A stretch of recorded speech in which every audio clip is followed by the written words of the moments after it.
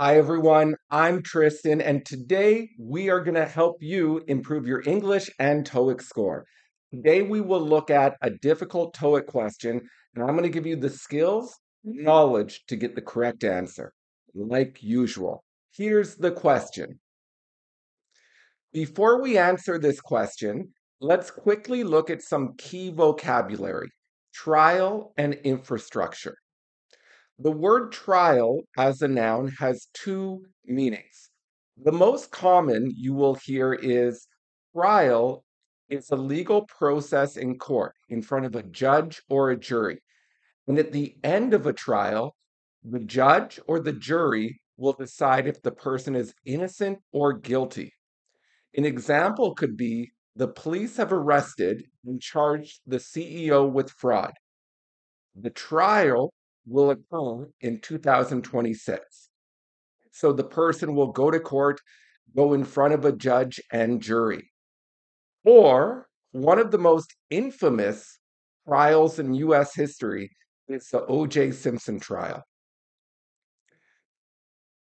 The common form is a person is on trial for a crime or a person stands trial for a crime. So we could say the CEO will go on trial for fraud in 2026. So that just means the trial will happen, occur in 2026. So can you answer these questions? What is a famous or infamous trial in your country's history? Who went on trial? Why did they go on trial?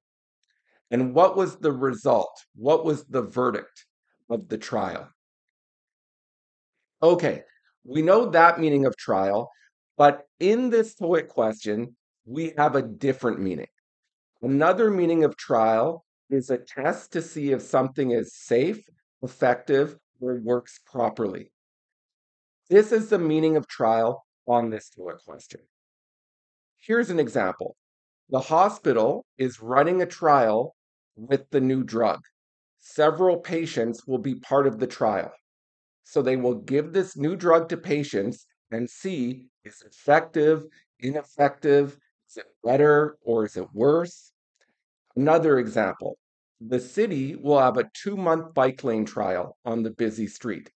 So they will put in the bike lanes for two months. They want to see if it will work effectively. So going back to this TOEIC question, we can understand the start.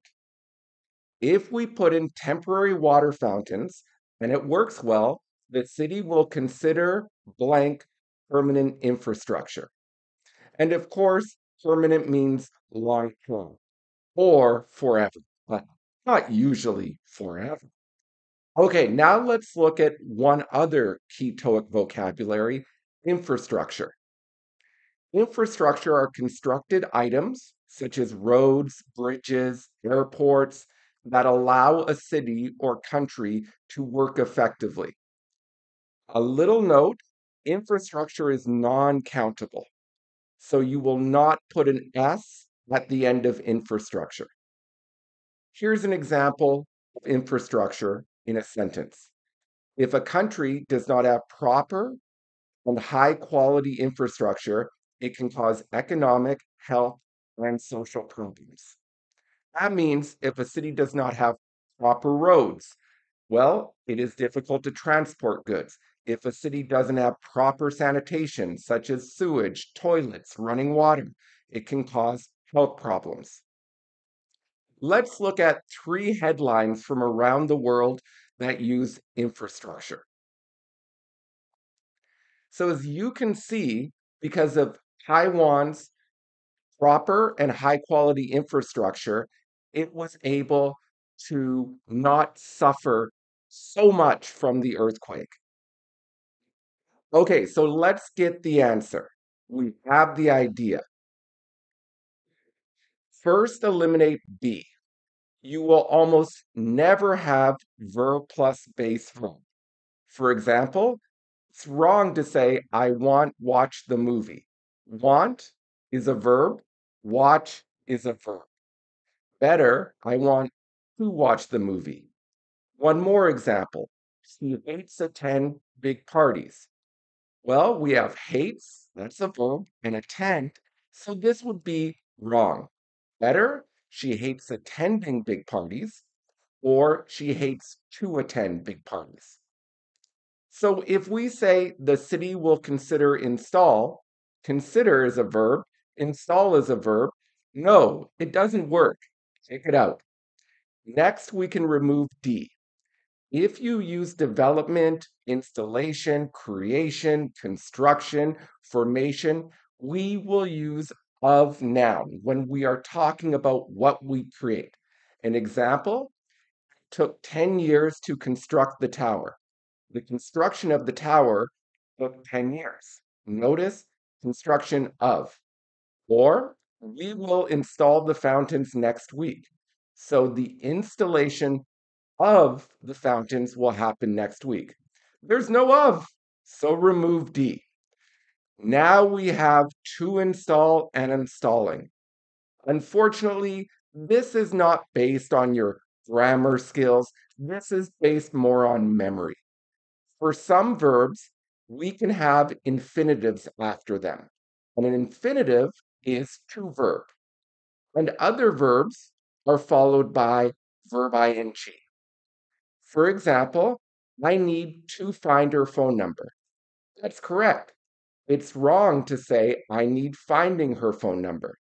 So after need, we will use the infinitive, to verb, or just a noun.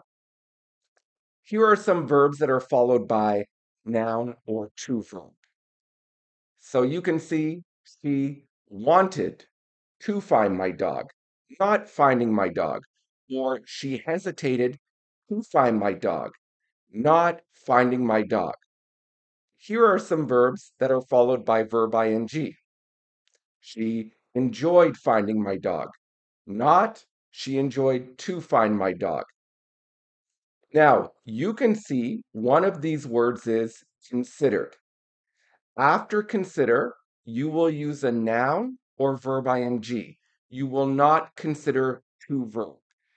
So, I live in Vancouver, but I might move to Seattle. I am considering moving to Seattle, not to move. I am considering leaving Vancouver, not to leave. So for this TOEIC question, we will choose installing because after consider, we don't use the to verb. We use the gerund. For a little more practice with this, let's do a quick quiz with infinitives and gerunds. Pause your screen and think about which word sounds better in the brackets. Well, number one, it would be increasing. Recommend verb ing, not to verb. Number two, taking. Number three, to give. Number four, to talk. Number five, to work. And of course, number stick, number stick, number six, after consider, we don't use the to verb. We're going to use verb ing so the hospital manager considered installing new lighting in the building. All right, well, thank you so much for today's lesson. I know it can be very frustrating when you have verb plus gerund or verb plus infinitive. Just be aware of it when you're reading, when you're studying, when you're talking.